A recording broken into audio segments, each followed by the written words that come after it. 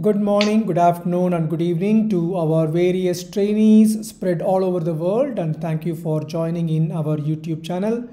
Today, we are going to discuss prostatitis, prostatic abscess, and chronic pelvic pain syndrome. This is not a topic which is asked quite frequently, but uh, it's nice to cover this topic why because once it comes in your 10 minute exam scenario or in long scenarios, uh, it's uh, very easy to make mistakes and it's better to get the up to date knowledge with correct classifications and treatment algorithms. We are reaching the 38th episode in our urology exam preparation. We have a trainee. Welcome. Good afternoon, Mr. D. Uh, it's a pleasure and privilege to take part in these sessions, and I'm happy for this to be recorded and shared in social media for the benefit of trainees Uh, for the exams. Thank you so much. Thank you very much. So let's dive into the scenario. You have a mm-hmm. 48 year old man. He presents with you with history of weak flow and also pain while passing urine for the past 10 days. How are you going to approach him? So I'll see him in the urology clinic. Uh, I plan my uh, consultation like going through the history, a chaperone assist examination, and reviewing the investigations if anything available. Uh, in the history, I'll specifically ask for the urinary symptoms. I know he has got a weak flow. I'll ask if there is uh, about other obstructive symptoms, any storage urinary symptoms, any history of uh, incontinence, or uh, any red flag symptoms like hematuria, previous history of UTIs uh, any history of uh, regarding the pain. I, will see if uh, what's the duration of the pain, whether he has already tried any medications for the pain, uh, uh, whether there is any previous history of uh, pain episodes, whether this is associated with any swelling down there or any associated fever, any constitutional symptoms. Um, I'll also ask about his sexual history, about his bowel habits, and uh, any neurological symptoms. This will be followed by uh, reviewing his medical history to see uh, the medications he is on, his comorbidities, any previous uh, surgeries done on him, especially any urological instrumentation or any pelvic surgeries, um, followed by uh, the social history, where I'll specifically ask for his uh, lifestyle, fluid intake, regarding the smoking history, alcohol intake, uh, his uh, sexual habits, and then followed by any family history of any malignancy, and be followed by chaperone assisted examination, general examination mainly to see for any constitutional symptoms and uh, to see his performance status. Uh, this will be followed by a focused examination. Uh, so I will specifically see for any uh, abdominal tenderness, any palpable bladder, any tenderness in the costovertebral angle, the, the circumcision status of the penis, if the external meatus is visible, any signs of BXO, any uh, and examination of external genitalia, uh, and uh, will be I will do a chaperone assisted consented digital examination to see for the size of the prostate consistency, any tenderness while do, uh, doing the uh, DRE, and then I will complete my examination with a fo- focused neurological examination. This I will also um, review his investigation. So I'll, I would like to have a urinalysis, and if there is anything abnormal, I'll send that for urine culture and sensitivity. I'll see the IPSS uh, score sheet, and I would I would ideally like to have a, a bladder diary uh, if he can bring it with him before the uh, plan- planning of the consultation, and then I'll also do a flow rate and bladder scan for him. So this will be my initial approach to him regarding his symptoms. Okay, and um, in the history, one important thing is to ask about the psychosocial type of symptoms or any past history which can uh, lead you to discuss regarding any psychosocial impacts like uh, traumatic events or sexual abuse something like that. Um, how any other than ips score any other questionnaires which is very pertinent to this present situation? Yeah so for a uh, uh prostatitis um, uh, scenario, I will uh, ask for a NIH CPSI uh, scoring system. So that, that's the National Institutes of Health Chronic Prostatitis Symptom Index, which has got uh, uh, nine questions focusing on three domains. So four questions asking on the pain, two questions on the urinary symptoms, and three questions on the uh, quality of life and impact on the quality of life. So I will request him to fill that up as well. So approximately for the pain, what are all the questions? Um, uh, so for the pain, uh, I, am sorry, I'm not quite sure about the about the uh, questions for the pain, uh, but I know that for the urinary symptoms, it is one is obstructive, another one is uh, uh, storage symptoms, and for the quality quality of life, there are two questions, and the ninth question is regarding the impact on the quality of life. sorry, regarding the exact questions for the pain. Okay. Uh, regarding pain, the, the easiest thing how to we can ex- explain to the examiner is all the questions were related to last one week. That's number one.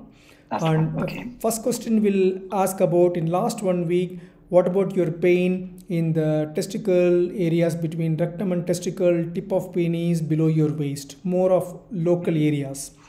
And second question in the last week, how are you feeling pain during voiding? And during sex. So pain in the rest and pain during some action like micturition or sexual activity.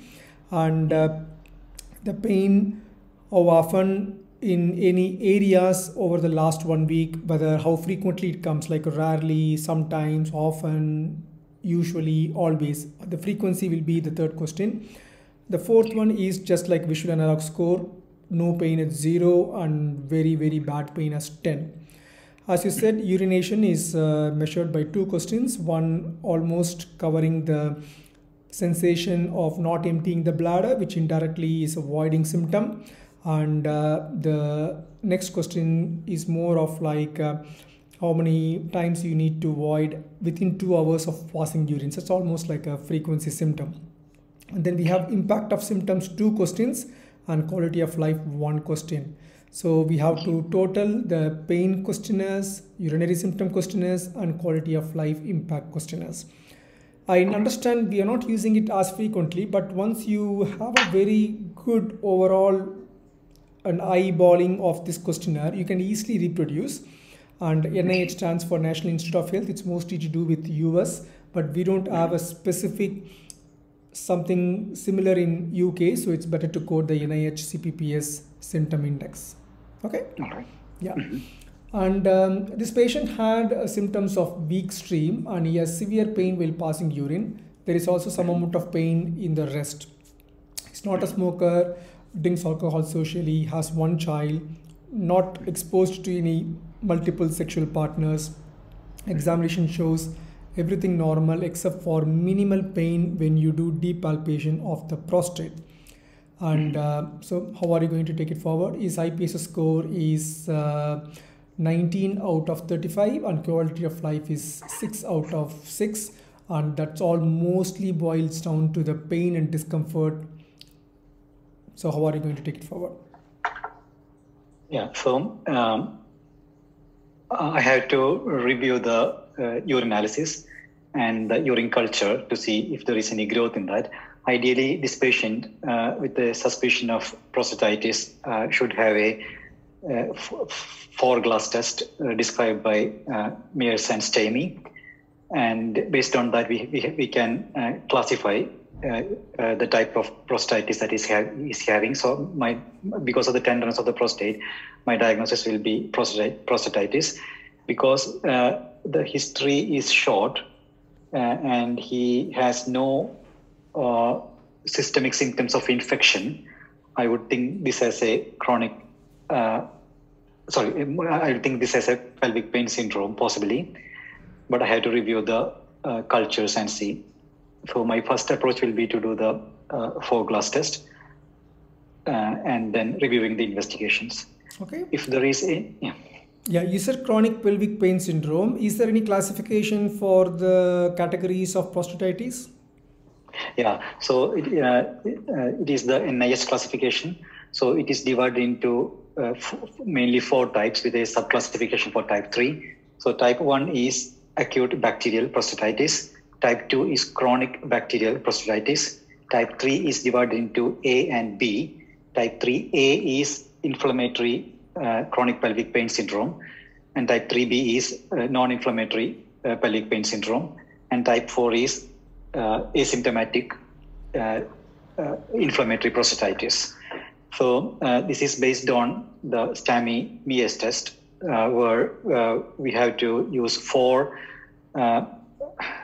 specimens of urine and ex, uh, express prostatitis secretions. So we mark it as VB1, VB2, EPS, and VB3. Uh, so VB1 is the initial 10, 10 mils of voided urine that represents the urethral flora. VB2 is the midstream urine sample that represents the bladder bladder flora. Uh, then it is followed by a express prostatic secretion where a, a prostatic massage is done and the prostatic secretions coming out the urethra is collected in a sterile container. Uh, it is recommended to have at least four drops of EPS to have a correct diagnosis. And this will be followed by another voided volume, which will be uh, VB3, which is also uh, the express prostatic secretions that are trapped in the urethra. So uh, for type 1 uh, acute bacterial prostatitis, it is diagnosed clinically, mainly with the constitutional symptoms and signs of infection. Type 2 is diagnosed with chronicity of symptoms and presence of uh, bacteria in the express prostatic secretions. Um, type 3A is diagnosed with white cell counts so uh, there should be uh, five more than greater than five to 10 WBCs per high power field in the EPS and VB3 to diagnose type 3A prostatitis. Uh, type 3B is there is no presence of white cells or bacteria uh, in EPS or VB3 or its semen. And type 4 is uh, when the patient ha- has no symptoms, but there is presence of WBC or bacteria in the uh, uh, EPS or uh, VB3 specimen. or it's also described in cases of prostate biopsy when there is signs of prostatitis, but there is no patient is patient has no symptoms.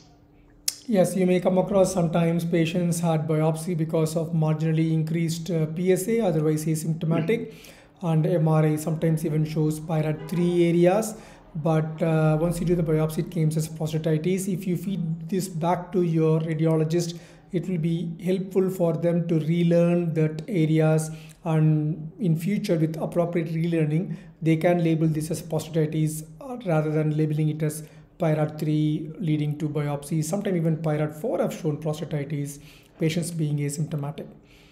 Okay and um, the, practical another thing is when you are doing the expressed prostatic secretions you can give the container to the patient and patient will be lying on his left uh, uh, lateral position. Patient can hold his penis and hold the container so that when you do the digital examination patient will be helpful to collect the eps because uh, only if you say a few things like that the examiner will be convinced that you have done yourself and then of course vb3 again patient will be passing urine maybe in a toilet and um, whatever the express secretions which were not expressed enough to come out of the meatus you will be connecting into the vb3 so eps and vb3 are almost same. Sometimes vb3 will give you a better result.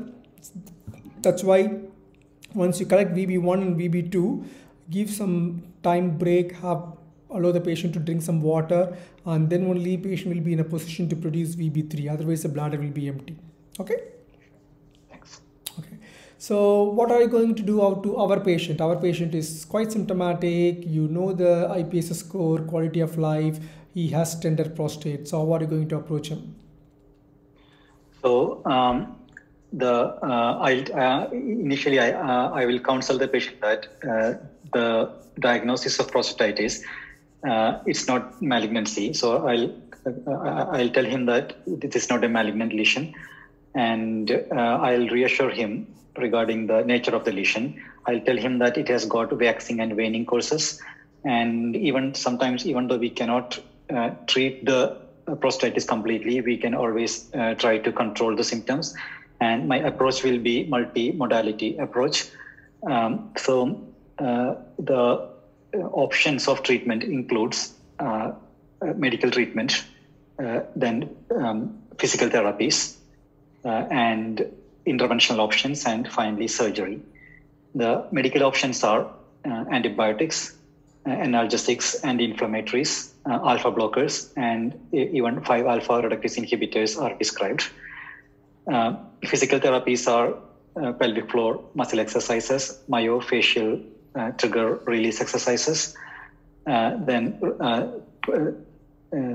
requesting the patient to practice relaxed voiding, and then referring the patient for to a pelvic floor muscle uh, specialist to have supervised pelvic floor muscle training. Um, the interventional options are uh, posterior tibial nerve stimulation and um, uh, neuromodulation. Uh, the EAU guideline says that it has got weak evidence to help patients with prostatitis, but uh, I think we are not practicing practicing it in our day to day life.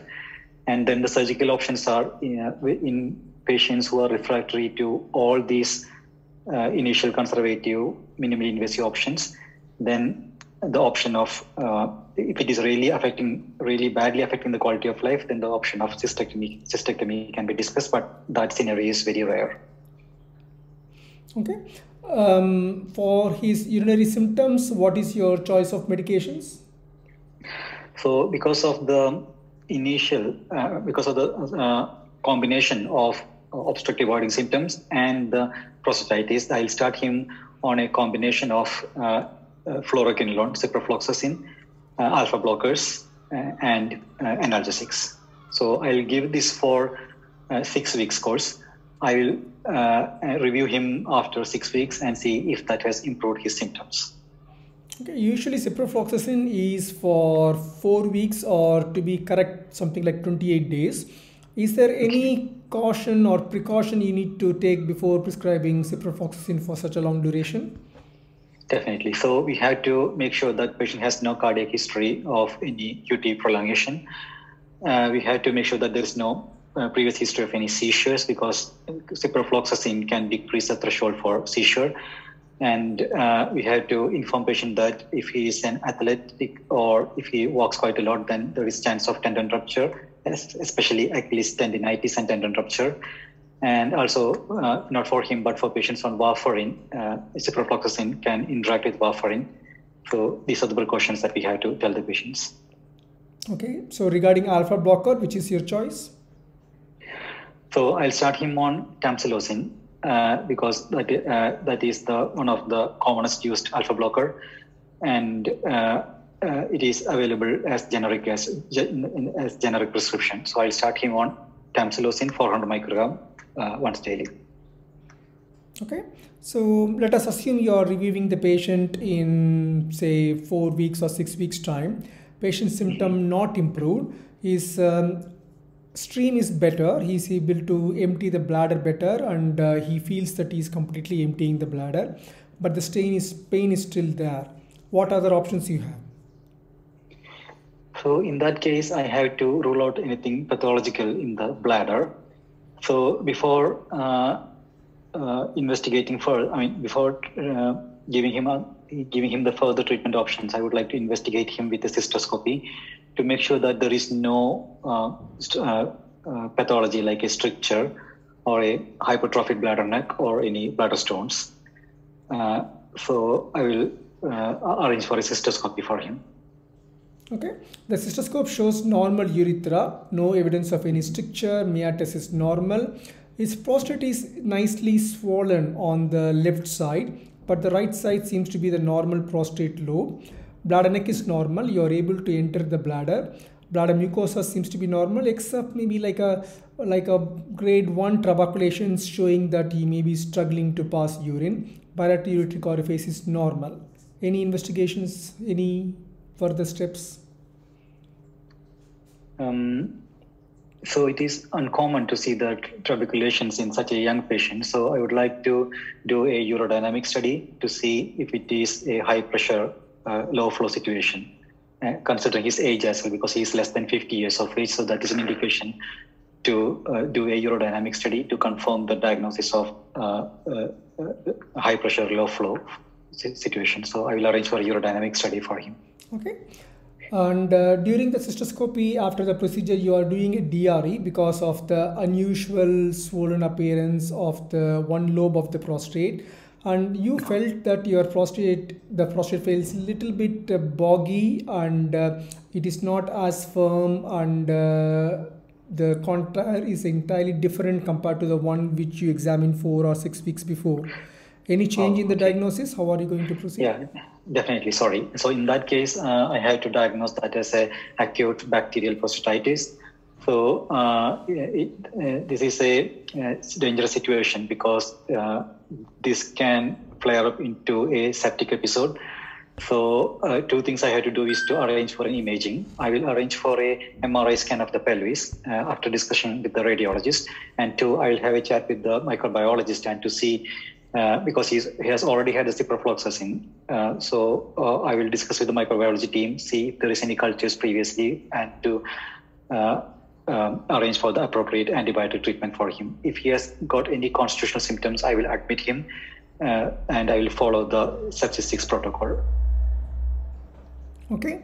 And um, how will you diagnose prostatic abscess if a patient has some symptoms similar to this? So clinically, uh, the prostate will be tender, soft, and boggy, uh, uh, and also the patient will have severe uh, pelvic pain and sometimes constitutional symptoms. And this will be followed by an imaging. Uh, ideally, if MRI scan of the pelvis is available, that is the best option. But if the MRI scan is not available, transrectal ultrasound scan is also a, good option to diagnose any hypoechoic areas on the prostate.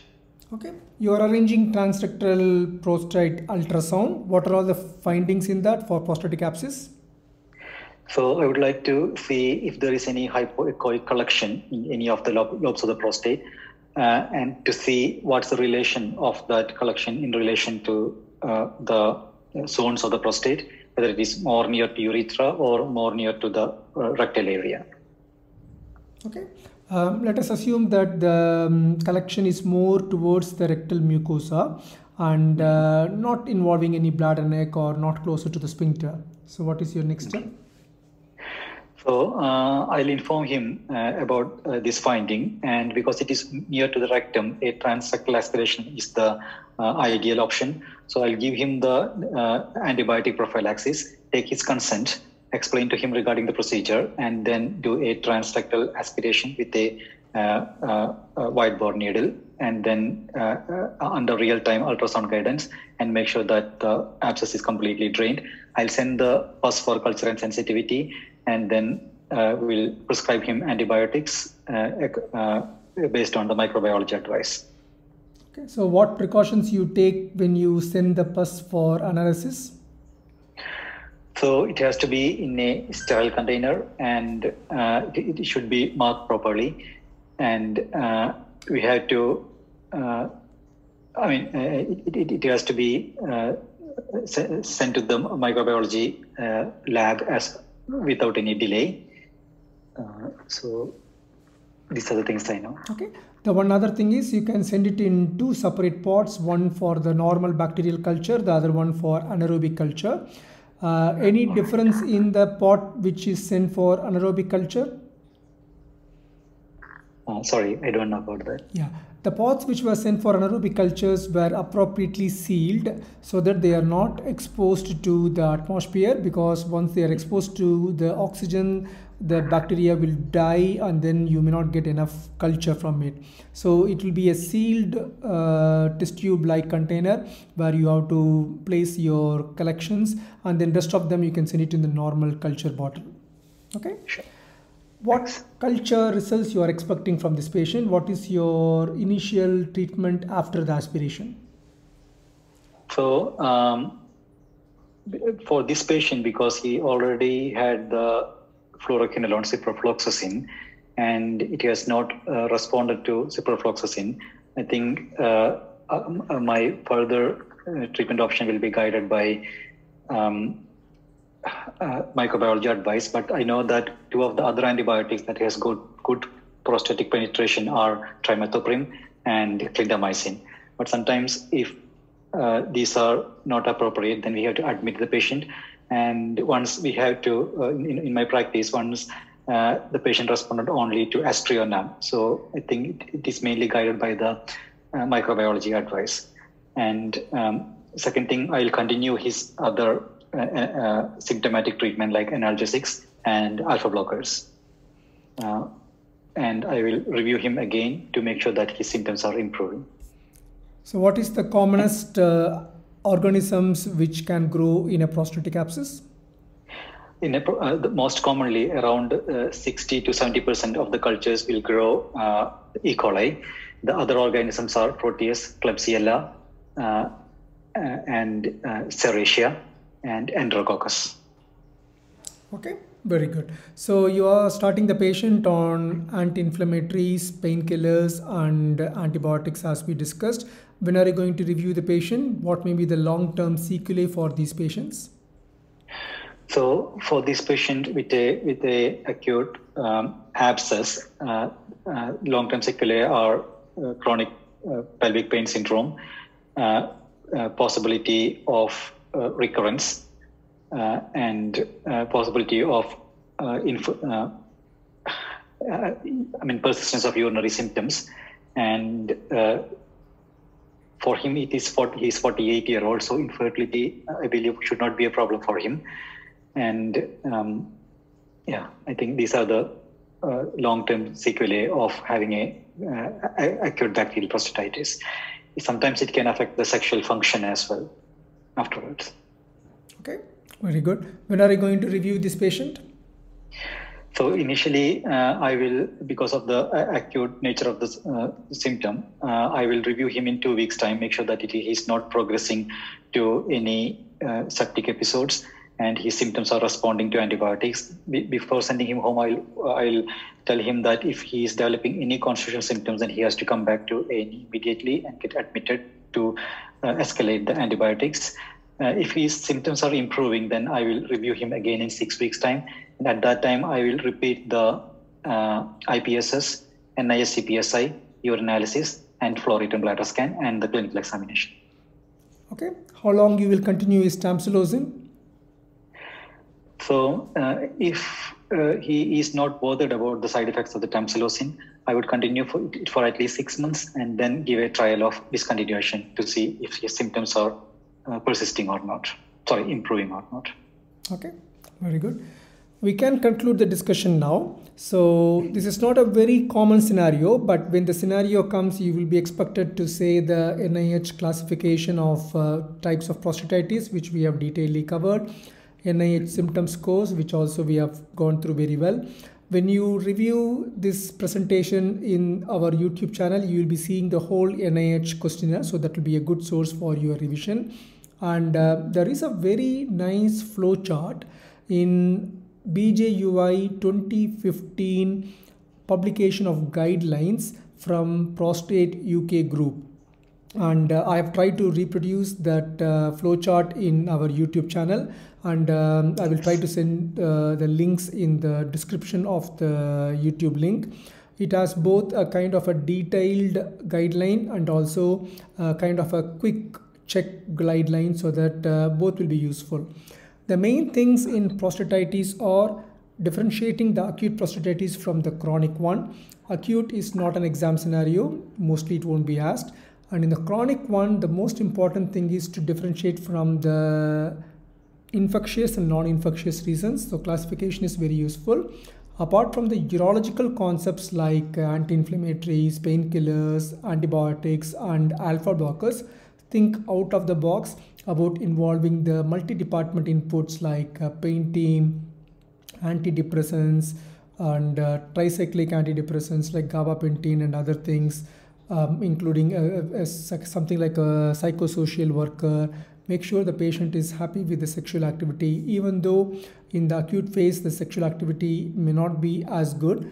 In the chronic phase patient may need something like a PDE5 inhibitors. So this should be an input from multi-dimensional input and know few things about how are you going to do that uh, VB1, 2, 3 and EPS collection. You have to able to reproduce as if you have done it in the clinic that will satisfy the examiner.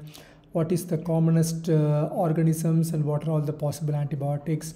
And by chance, unfortunately, if the patient progresses to prostatic abscess, how are you going to deal with it? How will you decide whether it's a urethral, transurethral drainage which requires anesthesia while transrectal drainage if it is more towards the peripheral zone doesn't require anesthesia, uh, a good local prostatic block with a transrectal ultrasound, and how you are going to send the specimen both for aerobic and uh, anaerobic culture pots. That's quite important.